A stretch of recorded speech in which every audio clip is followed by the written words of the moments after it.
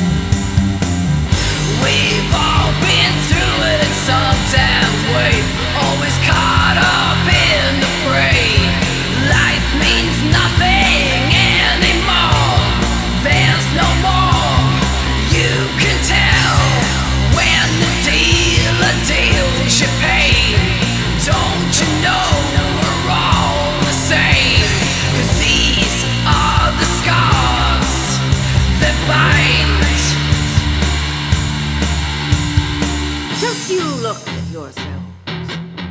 Look inside yourselves. Deep, deep inside yourselves, beyond the glister of your parties and the saucy blades of your jewels. What?